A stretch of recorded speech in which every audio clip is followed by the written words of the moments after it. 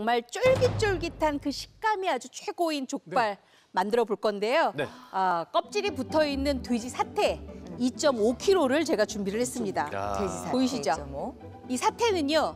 어, 덩어리를 준비를 해서 여섯 덩어리로 썰어서 이렇게 찬물에 30분을 담가서 핏물을 완전하게 쪽 뺐습니다. 아니 근데 저 이본 쌤 원래 네. 족발 만든다 그러는데 왜 사태를 사용을 하시는 거죠? 돼지족을 손질을 하면은 여러분들이 조금 힘들어하시고 네. 어, 조금 귀찮아하실 분들이 굉장히 많기 때문에 특별히 구하기도 쉽고 또 만들기도 쉽고 그다음에 맛도 있는 돼지 사태를 준비를 했습니다. 사태로. 어. 보은 쌤이 30분간 지금 네. 핏물을 빼셨다면 네. 이제 네. 누린내 걱정은 끝이네요. 그러면 아 지금은요 누린내 제거의 절반의 성공이에요. 절반 오. 절반. 나머지 성공을 하려면 이 한 가지 과정을 더 거쳐야 됩니다. 아, 그래야 네. 누린내가 아주 잘 빠져요. 어, 한 가지 아, 과정을 일단 더 반은 네. 잡았다. 한 뭘까요? 가지 과정. 바로 바로 애벌 삶기입니다. 아, 이 애벌 삶기. 사태를요 애벌로 삶아야 누린내를 싹 잡을 수가 있어요. 네.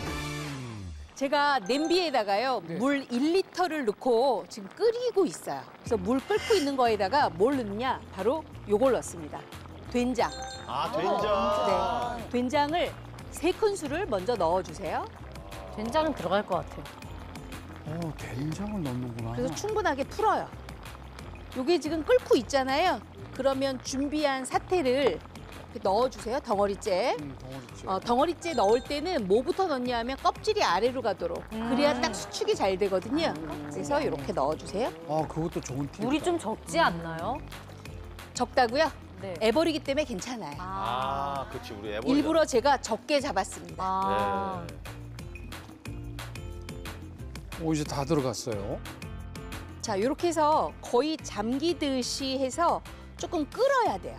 음. 끓고 나면 여기에 애벌 삶기의 가장 핵심 재료인 두 가지를 넣습니다. 아 뭘까? 잡내도 나는 하나는 날 가지. 것 같아. 나도 어. 한 가지는 알것 같아. 하나는. 저도 한 가지는 계속 알것 같아요. 나오는 거. 하나는 어. 이거 아닐까요?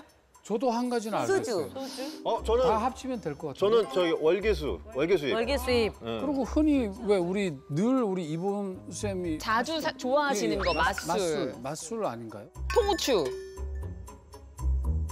자, 네. 이제 막 끓고 있잖아요. 네. 예, 예. 끓고 있을 때 아까 우리 혜연 씨가 정말 잘 맞췄어요. 네. 이게 지금 소주 두 컵이거든요. 어. 끓고 있을 때 소주 두 컵을 이렇게 뿌려주세요. 야. 끓고 있을 때. 네, 그러면 소주의 알코올기가 날아가겠지요. 네. 이렇게. 자, 그리고 나서 아까 우리 석연 씨가 맞췄어요. 맛술 한 컵을 여기서 넣어줍니다. 역시 우리 알토란 아 가족이에요. 그래서 선생님이 애벌 삶기 물을 조금 잡으신 거구나. 네. 어. 자, 이렇게 해서 이제 끓기 시작하면 얼마나 끓이느냐 하면 딱 10분만 끓이는데요. 어. 네. 이렇게 소주하고 맛술을 넣고 끓이게 되면 일단 잡내 없어지고요. 그다음에 연육작용을 아, 해줍니다. 고기가 그래서 부드러워지는군요. 사태 살이 우리 끓이면서 굉장히 쉽게 부드럽게 익혀지게 되겠죠. 그래서 딱 오, 좋다. 10분만 먼저 끓일게요. 네.